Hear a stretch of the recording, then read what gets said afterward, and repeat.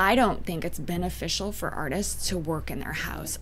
I just think that you need it. If you're a professional artist, you should have a studio space.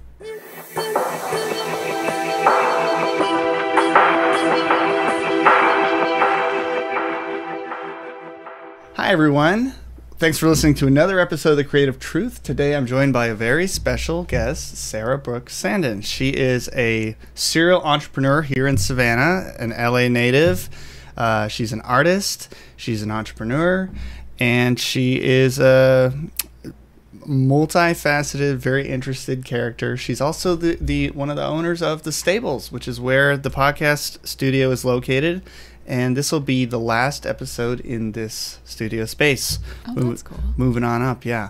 So um, to open up the episode, tell the listeners a little bit about where you're from and what you do, because it's because you do so much. It's not like, you know, hi, I'm Sarah. I'm just I'm this. You I kinda- know it's so hard to explain. Um, hello, I'm Sarah Brooke, and I am originally from Canada, Oh, okay. Which is confusing. So I was born in Victoria on Vancouver Island, um, British Columbia. My father and his whole side of his family is Canadian, so I'm a Canadian citizen. That's right. To this day. Yeah, yeah. But my mom is from California, born and raised. And then her whole side of the family is from California, specifically Northern California. Um, so I kind of have both. I have one side Canadian and one side California, and I went back and forth my whole life. But I I grew up in California, but in Northern California, in Humboldt County, to be exact, which is super north. And then what brought you to Los Angeles then? When I was 18, I moved there. Yeah. I went to high school and stuff in Humboldt and, you know, grew up there in the Redwoods, just like in a really rural. I think my the town was 10,000 people, maybe less. So that's kind of where the love of the outdoors comes from. Yeah, it's super super rural up there. Like I think it's like four five hours north of San Francisco on the coast. Um, the way you get there is literally like a two lane highway from from San Francisco up, and there's that's the closest big city is like five hours away. Are you? Do you have siblings? I do. I have a lot of siblings. and it's all we're all um like I have one full sister where we have both mom and dad. I have a half sister where we have the same dad, different moms. I have um brothers that are adopted step brothers sort of. Um it's hard to explain. I have two brothers. So what was your first kind of artistic uh, interest?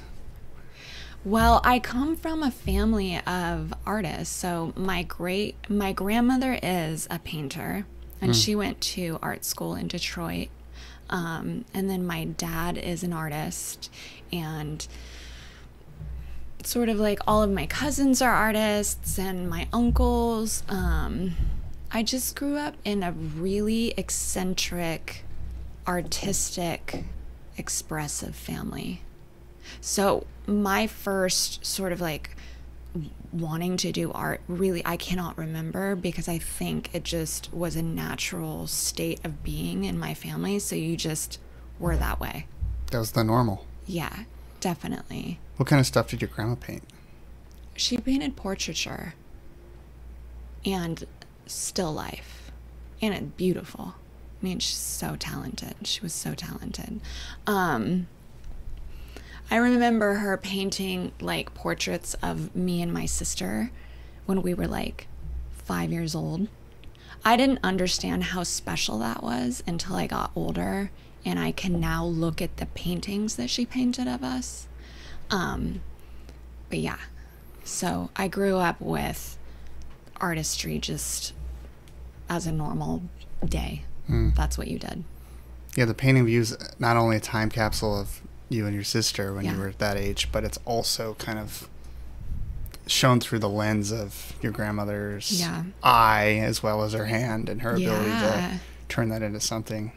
Yeah, it's really cool. And I didn't understand um, how special that was to have until I sort of like got out into the world as an as a young adult, and I was like, wait, oh, so most people don't have that at all. Because Humboldt County, just in itself, I mean, I don't know if you know anything about Humboldt County. It is such a weird, eccentric place in itself. It is filled with like artists and bizarre people. Is there like a an industry, like a big industry there? that- no, there's nothing Mm. there. Mm. It's it. I think it's because there's nothing there that that's what people do. But it, there's like it's kind of like one of those things. Like there's something in the water. it's just like everybody is super creative and expressive and Is it a commuter city that people are going somewhere no, from there? not at all. It's just like isolated little Super isolated. mountain town and yeah, coastal mountain town. And but like also it's a it's a county, so it's but it's really tiny county, so it's like kind of all this all the little towns in that county everybody knows each other, you know, cuz like if you go to high school in one of the little towns, you play sports with the other little towns and that's who you're around all the time, you know. So it's like this really I mean, even to this day, I'm like, where I grew up was so weird compared to anywhere else I've ever been. So when you were 18, you were like, I need to get out of here. Yeah, I think that I just went through like a lot with my family and um, growing up in that community was great. I grew up with my dad too, so I did sort of like, you know, went to high school, went to school year with my mom, and then would go summers type of thing with my dad. But my dad lives on a commune in Canada. So I think it's like 800 acres of Canadian wilderness. And it's just, there was a community there, and an intentional community that was created, I don't know, back in the 70s, I think it was created. Um, my dad lives I, he still lives there. But there's no running water, no modern amenities. Um, and when I say no modern amenities, I mean like cable, there's no computers, there's no cell phones, there's no like Do they get mail? They do, but it's like you have to go to the the the post. You don't get mail there. You have to go to the post office. Once a you week or know, whatever. yeah. And So that's your only contact with them? like when you're there, No, like you have to write him letters? oh, he has a landline, so I can call him on the landline. But that's all he's got. He doesn't have FaceTime or computer to like look at. You can't email him photos or. Is he happy? Yeah, he is. Like, if you asked him to leave there, he would be like, hell no. Never. Never will I leave here. It is like the best feeling when uh, the few times I get to like turn off my phone Mm-hmm. for like a weekend. Mm-hmm. Or I'm actually going to up in way up in the sticks in New York Yeah. next week, and my phone's gonna be off for like seven days straight. Yeah. So I'll have client calls and I know. It's so trippy, right? And you forget, like, how. Because you and I grew up and, you know, we didn't have phones attached to our hands most of our, you know, childhood. Um, but now it's like, it, it, it feels like it's attached to your hand at all times. It's really terrifying. something we talk about a lot on this podcast is like the the amount of amount of content you consume versus what you create uh-huh. and i have like this and a lot of artists have this like need Mm-hmm. to like i've been doing too much of social media or the news or whatever so like now i need to like write a poem or a song Yeah. or and you're a musician too Uh, I am. yeah Yeah. um what do you do I play stringed instruments. So, I mean, I started playing guitar, but you know, when you play strings, you can kind of get the flow in between. and your voice is beautiful Thank you. yeah i only heard you sing one time but really? Mhm. my so my family is all musicians. That's another thing that they possess that was very normal in my family is that every single person plays an instrument and is a musician. I mean, Like true family band style. oh my gosh, like every single person, all my cousins, all my uncles, like my dad, our friends. Um, so when we would have like dinner, we didn't have TV, so we would play music. Like we we'd have family dinner and then we would play music. That was like what we did with each other um, in our free time. If somebody sat down next to you, then that person would pick up an instrument and the other person would pick up an instrument. You'd be like, What do you want to play? I don't know, just play something. And you would just play music. Um, but my cousins play like fiddles, I mean, like ukuleles, mandolins, guitars, slide, like tons of different types of instruments too. So it would really be extremely fun. But it's so it's so weird when you grow up in that and you don't understand that it's not the norm. Because really when I take people to my family's house and they're like, let's, you know, let's make a vegan dinner and then we're all going to sit around and play music. And there'll be like 10 people, 15 people deep with instruments and they all sing too. And people are just like, this is like insane. this is like another world. But to us, it was just like what you did.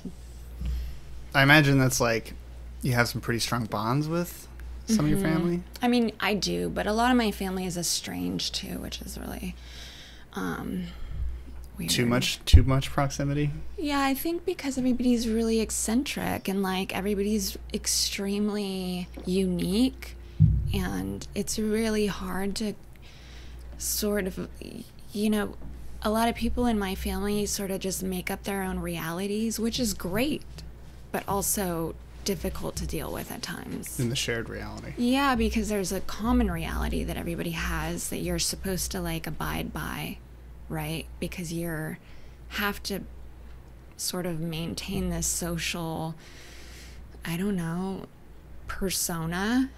And if you if you sort of can't manage that, you can be hard to get along with. Is conforming to the common reality selling out? Is that sa- I that mean- is that sacrificing artistic integrity? I don't think so because in my family, I 100% would be the m- most conformist person, which if you looked at me from like an outside, I probably don't seem like a conformist whatsoever. So you can like imagine how non-conforming my family is. If I look like the goody two shoes or the sellout or the like that's me. So um it's strange because it just it, it's what you value you know do you value business uh money um you know being comfortable being able to sort of weave in and out of society. Most of my family doesn't they don't, that doesn't hold value for them which is fine but it does hold some value for me.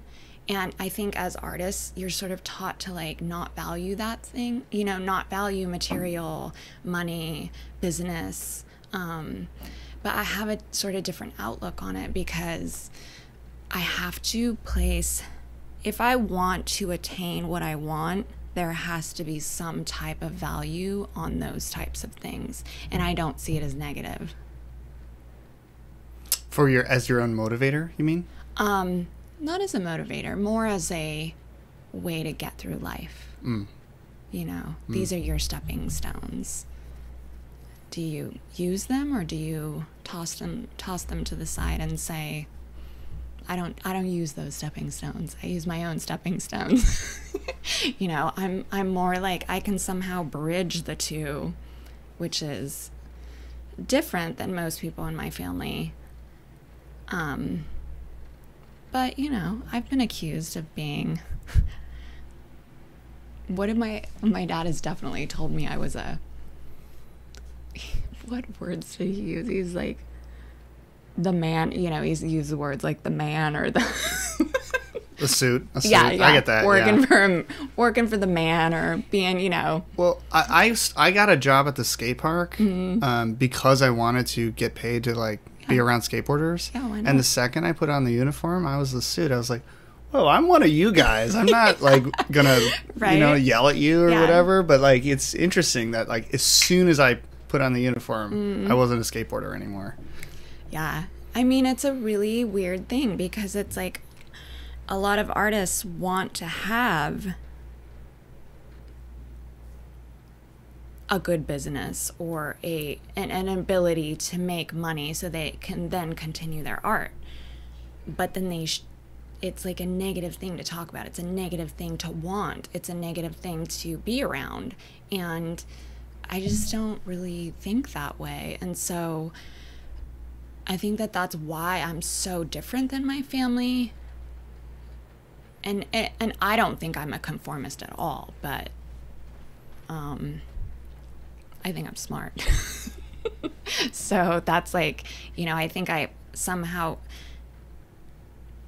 I don't know if I was born with it or if it was just something that I under started to understand and nurture, but I understood that I somehow possessed um, a business mind too, and I didn't, you know, um, you know who's a really great example of that? Who's an artist is Frank Zappa. He has so many great things that he says about, you know, business and being smart about your money and being s- smart about how you spend your time and and what you're learning and you know what you're consuming.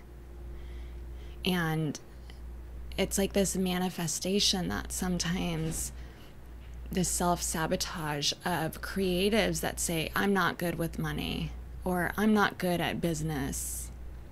Um, I need someone to do it for me. So part of this podcast is that when you graduate from art school, Mm-hmm. Yeah. they just teach you the the medium. They don't teach you all that stuff. Mm-hmm. Yeah. and which is simple as like taxes, health Mm-hmm. insurance, Yeah. invoicing. You know, like Yeah. just all that little stuff. Yeah. Um, and also, I was going to say about Zappa, no one can accuse him of not being an artist in his oh medium because he's Never. I yeah. mean, how could you ever? He's one of the most creative, eccentric, innovative artists there's ever been. talented naturally. Yeah. insane. So Ryan Lawrence is my boyfriend. Um, I use the term boyfriend, but we've been together for like I don't know nine years or something, and business partner. and business partner. Um, and we run the stables together. We do renovations together. We, you know, basically just our whole lives is working, and we're also partners. So, partners in work and partners in art and business. so where were y'all at, and what year was this, and where were you at in your life when you were living in Los Angeles, Mm-hmm. and you're like, we want to mix things up, and you ended up in Savannah somehow. So kind of I talk know, me through that. Yeah. Um, well, we were both living in LA when we met. He was living in LA and I was living in LA. We actually met through a, a friend. Um, her name's Annie Priest. She's a great artist too, but she's like, you know, I was at her house and Ryan was, I don't even know, he was being a maniac over there. And I met him and then we ended up dating. But we were living in LA. Um, I unfortunately was going through a crazy divorce, which was insane. Um, I had to make a decision about what I wanted to do because I was living in a city that I had only moved to because uh, I was married. Um, I had lived there for a long time, but it wasn't like I it was his city. It was not my city. You know, I, I come from Northern California. I come from definitely a smaller, like country vibe. I lived in a city because I worked in the city and I, um, you know, needed to do that as a younger person. But as I became a professional artist, I could really just live anywhere. Um, so Ryan and I, I was like, I think I'm gonna sell my house. You know, I, I don't know. Like, I don't want to live here forever. It's not, doesn't really serve me anymore. I can go wherever I want. So Ryan and I just made a decision like I was going to sell my house, and we ended up buying um, a huge RV, and we lived in the RV and traveled around the United States for six months. It's awesome. Yeah. And we had our dogs, and we were like, we're just going to travel around and figure out where we want to live. Um, because California, I mean, I love California. I'll always have love for California, but it's just, it's so expensive. It's insane. Um, and you go other places and you're like, I could like live here and be sort of like comfortable and not stress out every single day about how I'm going to pay for gas or healthcare or just normal types of things. So we wanted to move somewhere that checked off certain boxes, um, just like affordability, a community, um, sort of prettiness, aesthetically pleasing, and people are nice. And there's a lot of places in the US. I actually have traveled to the US a lot. Like, I've been to every state, I've been every, I've been through the US so much. So I feel like I know a lot of it. Uh, I know a lot about it. But, um, we went to we had these certain cities that everybody loves like these cities they're like these are the best cities in the us and so we're like okay we're going to travel around and just look at them and see if we can See ourselves there. yeah just see if we like them so we go to austin you know we go to santa fe we go to sedona we go to nashville we go to Boulder. detroit we didn't actually do much of colorado because colorado is very california to me in a way It is now, yeah. Yep. um but we we did these you know these cities that were considered cool and maybe places that people wanted to go to we didn't actually even go to savannah and every place we went there was something about it i didn't like like it whether it be it's not you know because i've n- actually never not lived on the coast. I've always lived on the coast. You know i lived in northern california on the coast. I lived in la it's, or long beach which is on the coast. Um so when i got inland i'm like i don't know if i could do this. I've never not lived by an ocean. And then there were just little things like santa fe is beautiful but there's no trees which is weird when you grow up in a place that's the most beautiful trees in the entire world, the redwoods. Um, I was like, I, I can't do that. No trees. That's weird. Um, Nashville was, I like Nashville, but it's just like kind of a sprawling city. It, it, in a way, it reminds me of Los Angeles because it's just like, it's very sprawling. It doesn't feel like there's like a city center and then it kind of a down. It's very weird to me. Um, I love Detroit actually. We spent a month in Pontiac and it's like Michigan is so gorgeous and people just really don't realize that. It's it's incredible, but it snows and I'm like I don't know if I could do a winter here. So there were just like these drawbacks to each place we went. So we go back to California and we're living in Northern California. We get a place in Northern California and we're like we're just going to live up here and we're in placerville which is a little bit out of tahoe so in that sort of area um, and we're there for 18 months. And in the 18 months like we were living california can get very desolate you know? Like if once you go up into the mountains you're like by yourself. There is nobody there. So and you had to drive pretty far to get to to civilization. Um so we're just like up in the mountains and i'm like 18 months in and i'm like i don't even have like one friend here is this is this sustainable? Can I have no friends ever? Like every time I had to see friends, I had to have my friends come up from LA. Um, I don't know. It was really isolated and just, I think I was like, I don't know if I could do the no people thing for the rest of my life.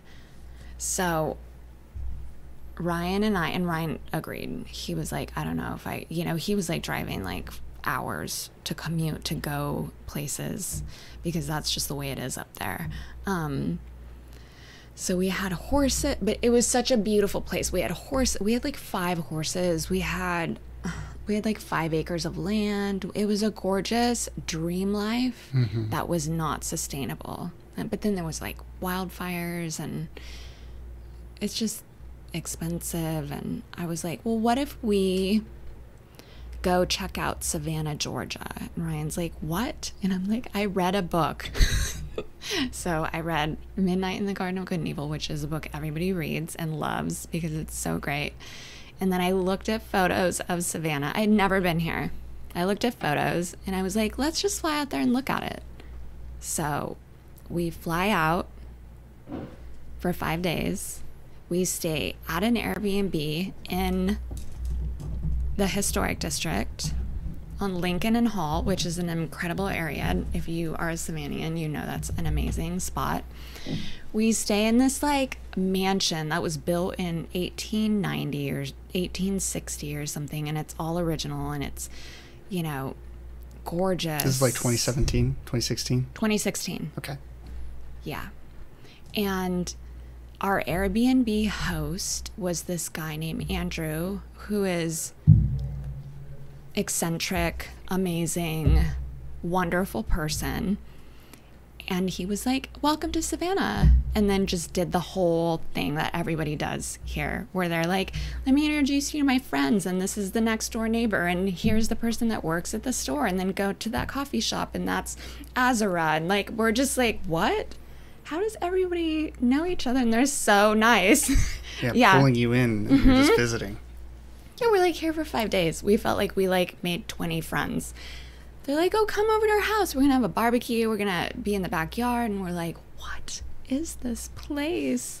So we were here for five days and we looked at the real estate prices and was like, this is ridiculous. Like, how does everybody not know about this place? Because it's on the coast and it checked off all the boxes. It's on the coast, community, beautiful. Easy to get around. Has a like city center that then spans out so you know you know you know you're downtown. You know where you are. Um, it's manageable. The size is very manageable. It's not so big that you're just like i don't know if i'll ever meet anybody here. Um, and then everybody is so ridiculously nice and kind that we're like why would we not move here how would you not if you if you ever came to Savannah, you're like, how would anybody be unhappy there? So we just like went back to Cali, picked up our stuff, and came out here. Our Airbnb host was so sweet. He was like, Oh, you guys want to move here? I have an apartment downstairs. And we're like, What? We get to live in this 1860 mansion? And he's like, Yeah. And we're like, Do you need to like run our credit? We need to fill out application. He's like, No, just are you guys coming back? And we're like, Yeah. And he's like, Okay, cool. Just let me know. And I'm like, What? This guy trusts us. And we just went, we went, and got our stuff, and came back. Um, and uh, Ryan's Ryan's talked about that Mm-hmm. that Jersey. Uh, you know that kind of the face he gives. It's like Yeah, where he looks like he's gonna like rip your head off. yeah. And then the thing I hear about specifically Angelenos is like there's a niceness, but it's like a fake niceness. Oh yeah, it's the worst. And when you're here, it's like how how are you today, ma'am? And you're like or sir, and I and you're like. I'm I'm doing good. How are you? Yeah. It's like, what do you want? Yeah. They're just like Well, genuinely I curious about. came from a small town, so I'm like more A used, more used to to that. that. Yeah. But I did live in LA for 20 years, and so I did grow used to. I mean, I had a lot of really great friends in LA because I lived there for so long, and I lived there during a period of my life where you grow up, you know, from like 19 years old until you know I lived there forever. So I was I really grew up with the people that I was around, um, but those people, the only reason why they became so close to me is because I was I was a um, professional dancer, and when you are in that type of situation, it's like being on a sports team. It's like being on a, you know, you're around them 24 7. You rehearse with them, you practice with them, you are sitting on tours with them, you are spending the night with them in hotel rooms, you are sleeping in the same bed with them, sharing their clothes, sharing their stuff. So you're, you're like, there's no separate, you're them, they're you type of thing. And so you just are close. You're like sisters, you know? And so if I didn't have that, there's no way I'd even have one friend in Los Angeles that I still talk to. Hmm. Because everybody's so transient with their kindness. It's like they're really out to just get something they need. Yeah. And then if you can't provide that, they just are on to the next person. And it's super weird. And then here it's kind of more just like people have all the time in the world to stop and talk to you. Well, and I think it's not the industry because when you work You're with people in the industry, they're constantly looking at you to benefit them. Mm-hmm. And if you can't do that, then they're just like, I can't waste my time with you. I'm on to the next person that can like get me where I want to go. Whereas here, people are just normal. They're not trying to like climb a ladder. They're just like being them nor- their normal selves. Like, hello, I'm you know Sally. I live two doors down, and you're like, she's not trying to like use me to like be on television or or be whatever. Like she's just actually lives two doors down and wants a friend and is like, hey, yeah, like want to hang out, go for a walk, and you're like, sure, let's do that. Like there's no exchange of I don't know.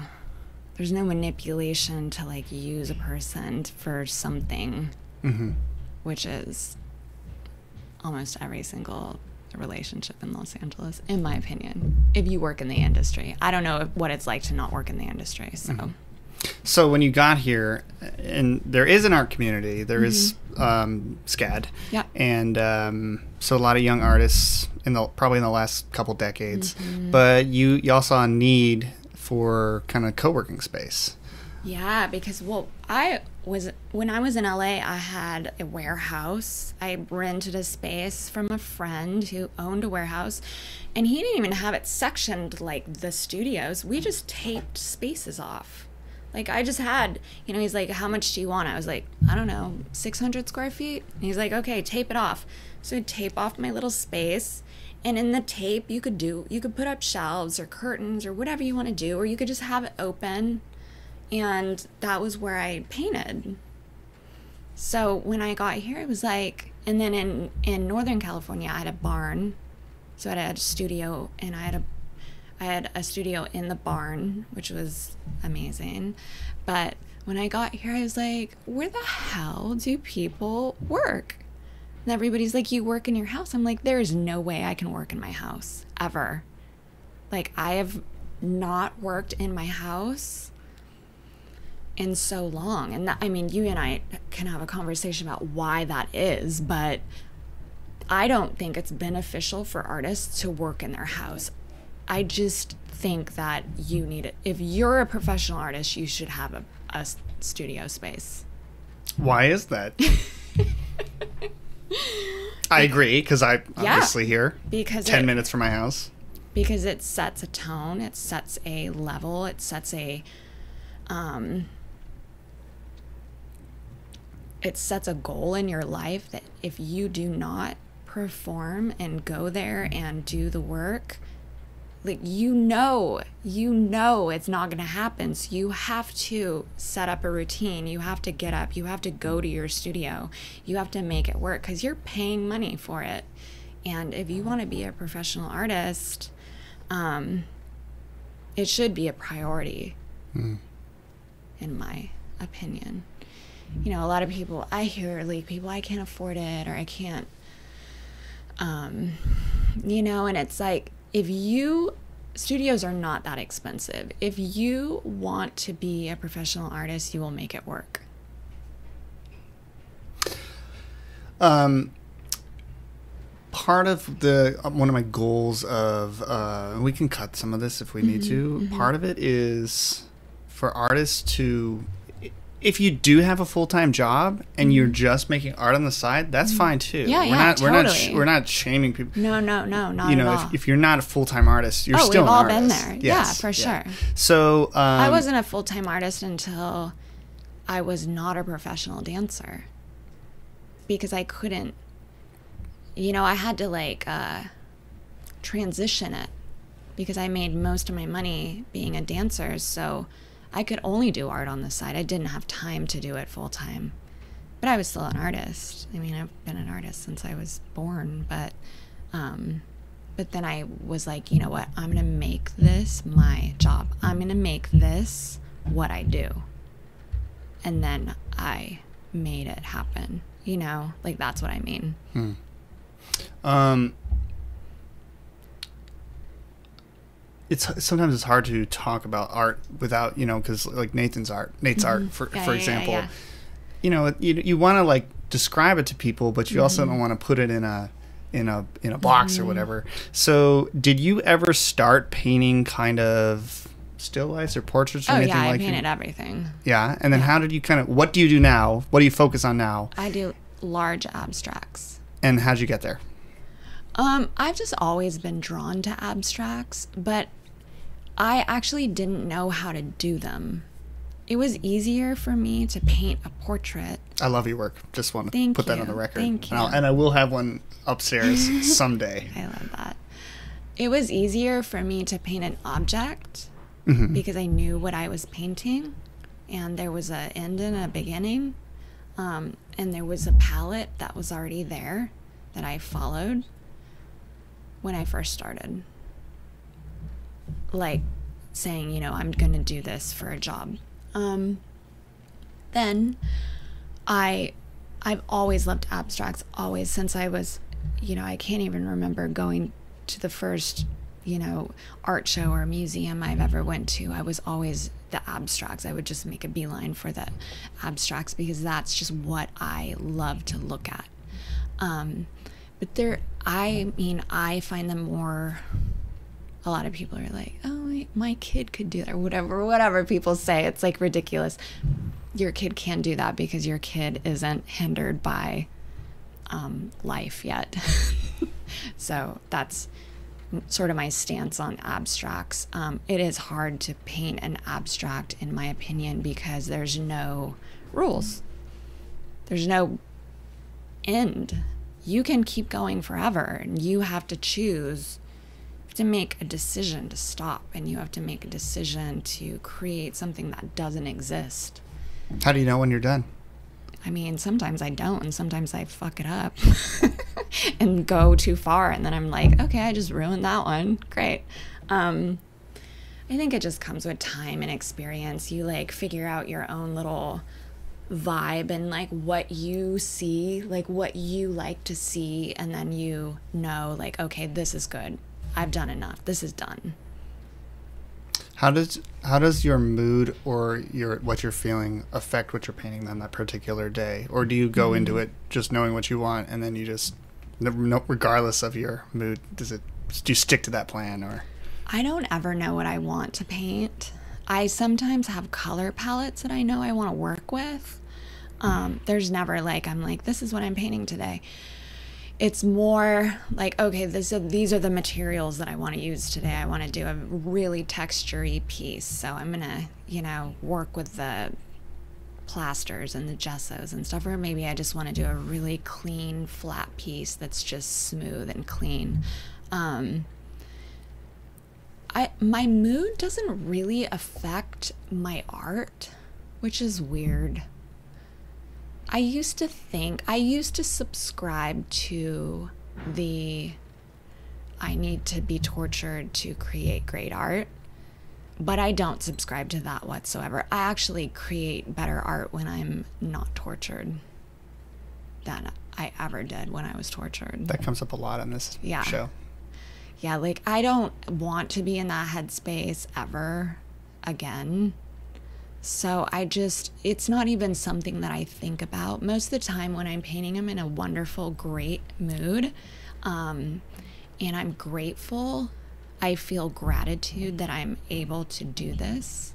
So I don't come at it from like an emotional stance of like um, tortured emotional stance. Um, let's also touch on, and we will talk more in an upcoming episode more Okay. about the stables and what the stables Yeah, has to yeah. Mm-hmm. offer. Um, when I'm upstairs, I'll get you and Ryan both down, and we'll do one just specifically. And if you hear Holy clunking around, moly.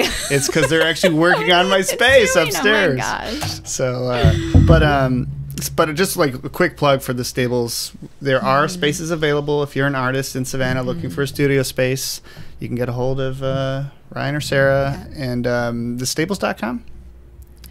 I think, yeah, I think either my number's on there or Ryan's. I think Ryan's numbers might be on there. You can Google the stables. Or e- or Gmail. Sta- the stables savannah at gmail.com. Okay.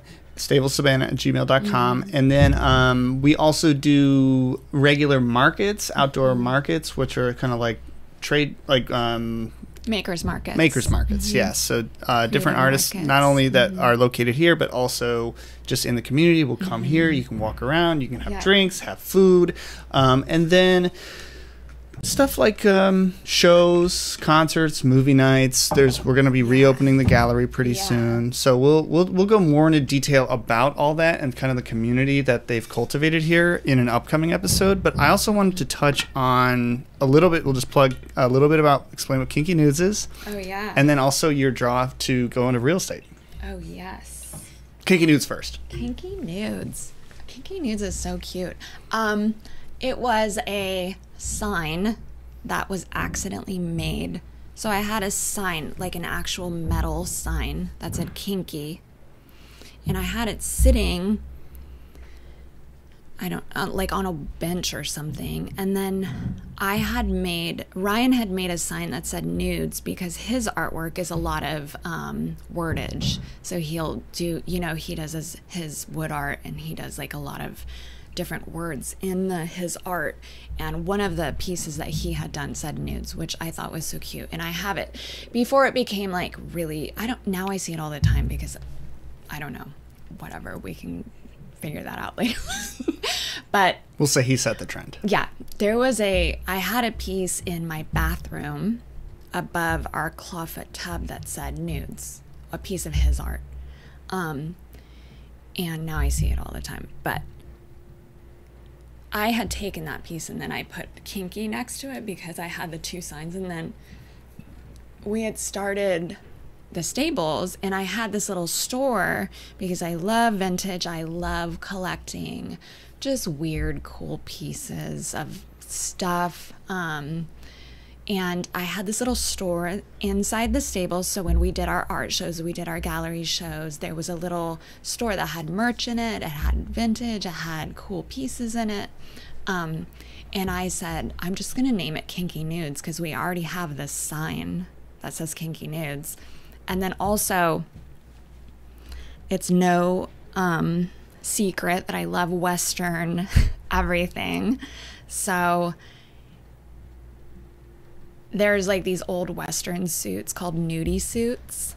And they are the traditional, you know, when you see the like the cutouts, the um, applique style Western suits with like snakes and diamonds and horses and lassos and like on the the suits, and they're just like completely tailored, but they're called nudie suits, and they're incredible. So it was kind of like this homage to the nudie suits, kinky nudes. It's Western. It's at the stables. It, that was my play on it.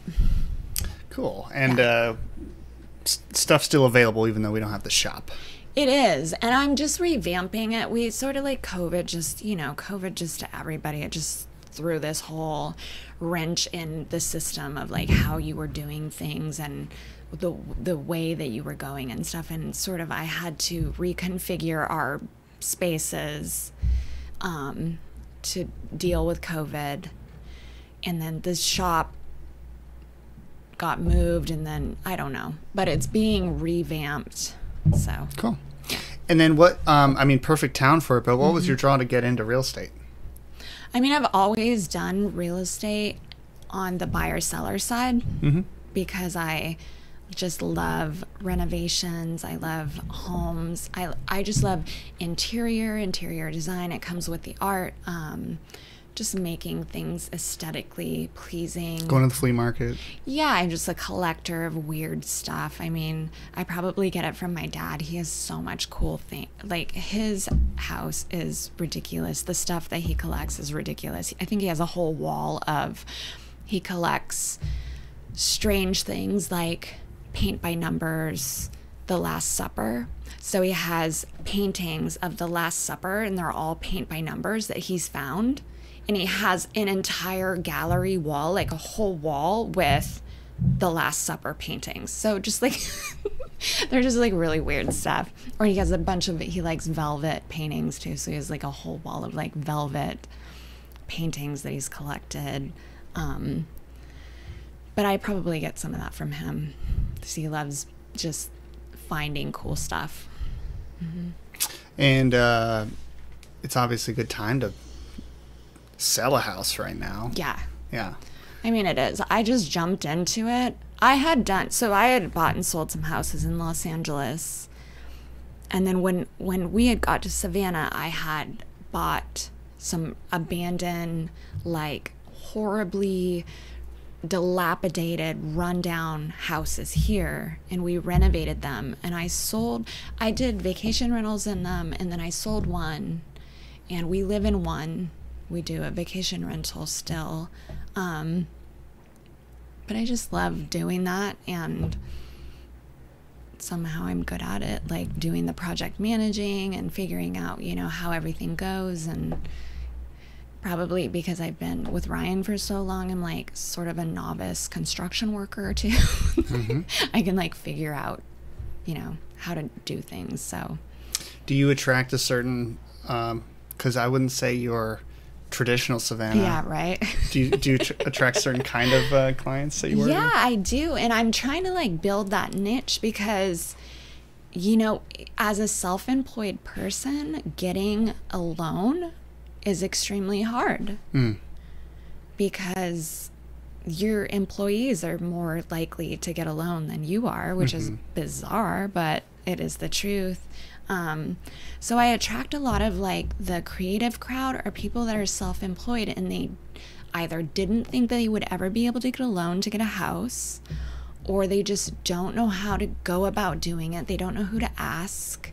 Um, or people that are interested in doing fixer uppers and like renovating places or possibly having passive income and getting like you know rentals that they can slowly collect. So they just have rental income coming in every month. So they could be an artist or they can be a musician or they you know they have another income.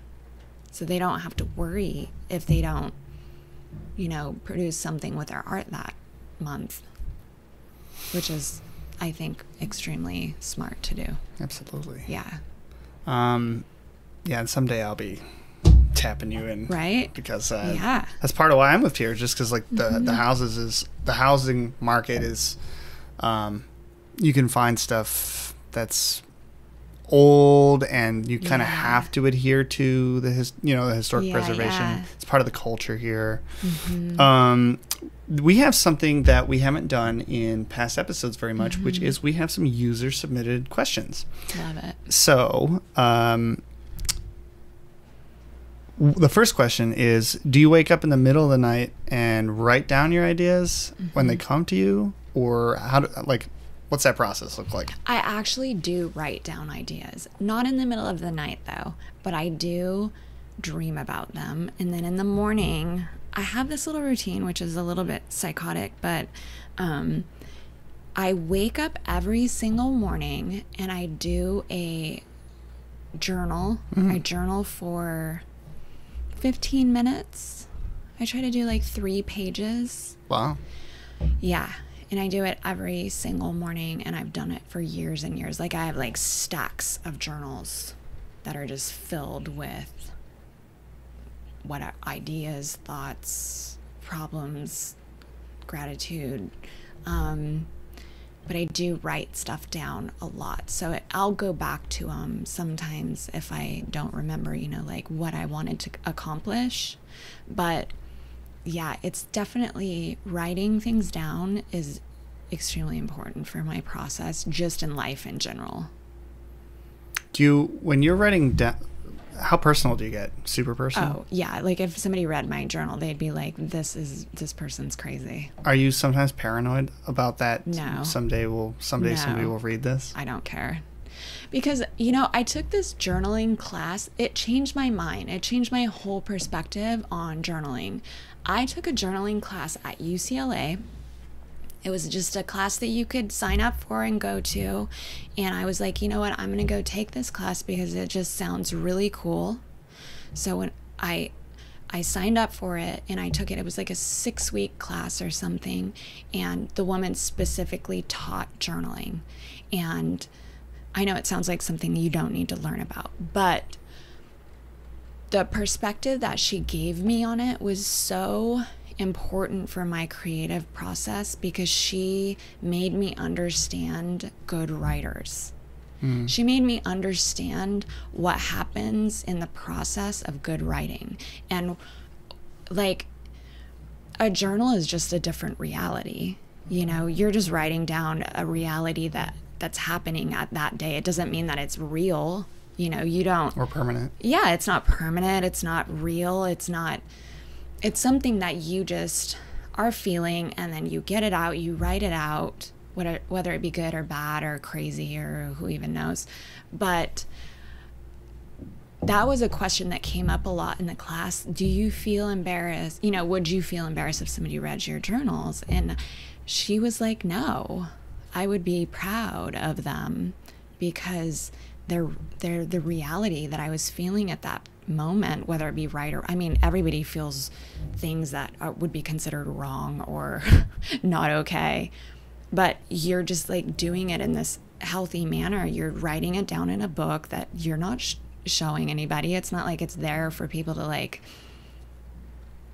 you know, be manipulated by or coerced by or something. So if you're having a negative feeling or whatever you're writing down seems negative, you move on. Like, I don't, I mean, I don't even know what I wrote three years ago or seven years ago or 10 years ago. Like, who even knows? I was a different person. But it's cool to like have that. Mm-hmm. I wouldn't be embarrassed. I mean, I'm sure if anything, people would relate to it and be like, oh, damn, I probably thought that too. Or, you know, Do you write it in a very linear storytelling way, or can it be sometimes could just- nonsensical? it- nonsensical. It can be anything. Hmm. There's no like rule or. I have one friend that's journaled for over 10 years Yeah. and he'll be like yeah on this day we this is when you came to see me and, and i'm like that's so cool that you have like a catalog of your That's life very like David Sedaris. He does a lot of journaling and he's like, he has actually like a book of his journals, but it's very much like organized thought process. Mine is definitely not like that. yeah i think i overthink it i would like to do it someday but uh Yeah. yeah I, i'm worried i'm always thinking about what if somebody reads this i don't know I don't, I don't even care. so It's like, what are you, what are you going to say? Like, what? I was an asshole three years ago. I don't care. yeah Look at me now. yeah Yeah. Right.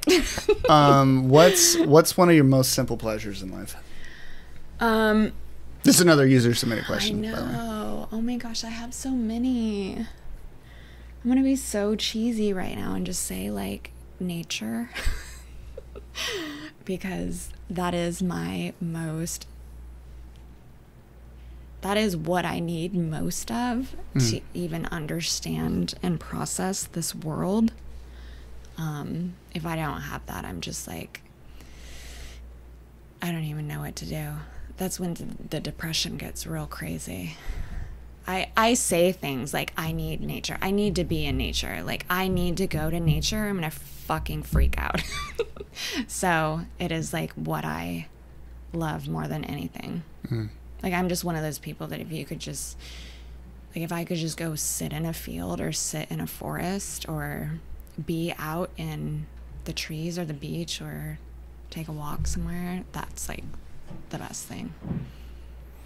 Yeah, and then but you still feed off people too, so I there's kind of like that balance Mhm. a little bit. Yeah, definitely. There has to be a balance. Um, this is an interesting one that somebody else asked. Do you Mm-hmm. do you tend to recognize undeveloped talent, and if so, um, are you cult- trying to cultivate it in a way? That is such a. I love that question because, yes, I do. And it's not good sometimes because most people do not follow their talent. So I have done this a lot in my past, and I really had to step back and say, Construction noises. Sorry yeah, about that. yeah. Ryan. um, I have done like I have seen a lot of undeveloped talent in a lot of people, and I'm drawn to it. I'm sort of like magnetized to it, and then I have this. Don't even know what it would be. This sort of caretaker esque vibe where I want to help you find that inside yourself and and develop it and nurture it but unfortunately most people don't nurture their talent and that's the the cliche term wasted talent you know um but i end up getting like hurt or disappointed or having some type of falling out with the person um, because they're not doing what I think they should do to sort of better their lives with this, what they wanted, this talent that they want to have. And I don't know. So I do, but I've, I've stopped doing it because it's a little bit controlling. I mean, I don't mean for it to be controlling, but I've like recognized it now as like just because somebody has talent doesn't mean that they need you to sort of help them through it. And then also, I don't know. I, I don't know if it's like my expectations are extremely high of people or something, but I always seem to get let down. So I have to like, even when I talk to people now and they're like, I have this great idea and I really want to make it work. And I'm like, oh my God, that's such an incredible idea. Let me help you do it. I, as soon as I think that thought, now I go, no, you need to not do that. yeah, you, part of the challenge is like when people Yeah. find a way to make money doing something they love, it sucks the fun out of it for them. yeah. And I can't help myself. I see, I th- have a business mind, Mm-hmm. so I'm like, oh, I enjoy this, so Mm-hmm. I try and coach people, and then I, I end up, I think I end up sucking the fun out of it for them, and they're like, just like making them yeah if you if people think about it in a way that it just is like a job then it kind of like Yeah. takes the fun out of it for them I could see that. yeah I think I just am like, if you don't do it this way, or if I go, uh, this is like, if you do it this way, it's not going to work. Where, whatever, like, who knows? Maybe it will work for them in a way that I don't even know, you know? I don't know. or So they I- have to try it at least Yeah, like instead of me being like, no, it has to be done this way in order for it to be this successful. If you want to be this successful, you have to do it this way. Like, um, I mean, I think it's more of attraction, not promotion. Mm. Like, I will do my thing and hopefully people see lead by example. Yeah see it. They're attracted to it. They're attracted to what i offer. And if they're attracted to it then it just comes really easy and naturally rather than me promoting my ideas to get people to like use their talent in the right way. Mm. you know? I don't know. That's how i have sort of learned what advice would you give to a 17 year old version of yourself Mm. I mean, just like the normal type of cliche advice, like stop hating yourself. Stop thinking that you can't do anything. Um, I had a really difficult upbringing, so I had to go through a lot of really terrible things in order to get where I am now. And in a in a way I'm sort of proud of the 17 year old that I was. I don't even know. She could probably give me more advice than me giving her in a sense because you know, I don't, things have changed so much in the world. It's just so bizarre now sometimes to me. That's that's the one thing that I find in this as an artist and a creative, the way that the world has changed with technology is extremely difficult for me to deal with sometimes. Um, I get lost in and overwhelmed by, I don't know, the, the two worlds, like the real world and then the online world. And I don't it's it they're extremely hard for me to navigate. Sometimes the online world is. The the real world I do all right with, but online I find it extremely difficult sometimes just cuz I don't understand it. The ever-changing craziness of it. Yeah, it's almost like the sum of the like the sum of the parts type thing too, where it's like uh, you know, mm-hmm. like the evil media is really mm-hmm. just like individual people that we know that yeah. live that are our neighbors and stuff, but collectively uh-huh. it creates it's, it's like really this weird monster or you know social but media. even like so like social media, um, I mean I think I'm pretty good at it, but there's definitely this weird thing that you have to take into account. It's like you have to sort of navigate through it. You can't just go balls to the wall, like whatever the hell you want, because something's going to happen and you're just going to get like slammed or who even knows what's going to happen. But there are too many variables to take into account for you to just be yourself, which goes entirely against being an artist. It's like the opposite of being an artist. So for me to navigate that, sometimes it's extremely difficult because you're like, I'm just going to be myself.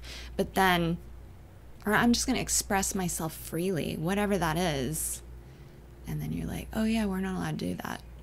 We're not allowed to do that anymore. We have to do it in a weird, curated way.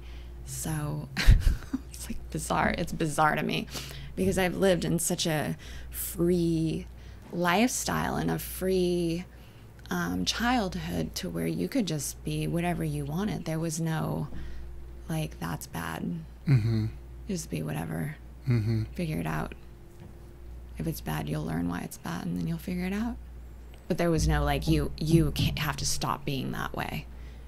Like more just like you can be that way, but then you'll see and you'll figure out why you can't be that way, or you'll or you won't, and you'll just you know it was like this freedom of expression to learn who you were. And I don't know if that exists anymore. Do you think we're it's moving really sad. in a bad direction or do you think we're I mean, yeah, I do, but that's like super heavy and crazy. But I do. I mean, I think with these younger kids and these younger artists that are now I mean, if I could give any a 17-year-old artist now sure advice would be to ignore all that shit and to just be yourself no matter if somebody hates you or thinks you're wrong or thinks you're bad or you have to be that to get to where you're going to go. You have to be yourself. You cannot be a freaking curated version of yourself as an artist. That's bizarre. I don't care if somebody hates you. That's a freaking artist. How many artists are hated? A lot of them. Well, they say if you if you don't have somebody hating, you're not doing anything. Yeah, or? like it's so weird to think that somehow you're gonna figure life out and go through it perfectly. Like what? What? Mm. That's so. I don't even know. That's bizarre to me. Mm. Um, how can people learn more, mm-hmm. find out about you? Where can they follow you? Oh, on my social media. Speaking of. Speaking of, yeah. Um, but so, only nice people. Yeah. At Sarah Brooke Sandin. Sarah with an H, Brooke with an E. Um, and then that's kind of all I do, really, is my Instagram. I don't have all the other, t- I mean, I do, but I don't really use them at all. And that's sort of all. I've been wanting to have you on for so long, so I'm glad we finally got to sit down. Um, thank you so much. Thank you. And uh, again, if y'all have questions for Sarah, she is my uh, studio neighbor. so Flatmate. she'd love to uh, come back on sometime. I'm going to have Ryan on to talk about his woodworking and construction, and I'm sure we'll touch on our mutual back injuries at some point. And then uh, maybe we'll all sit down and talk about the stable. So, uh, in upcoming episodes of The Creative Truth, I'm going to be talking to more artists, entrepreneurs, and creative professionals to help discover their path to success. If you have episode feedback or guest suggestions, you can email me at wecreatetruth or gmail.com. If you're watching on YouTube, you could drop a comment below. If you're watching on YouTube, don't forget to like, share, and subscribe. If you're listening on iTunes, please leave me a good review. You can learn more at creative-truth.com. We have hats, apparel, mugs. Every little bit helps. I appreciate it, uh, your support, and uh, we will see you in the next. Ep- we'll t- we'll talk to you in the next episode. Thanks for listening. Thank you.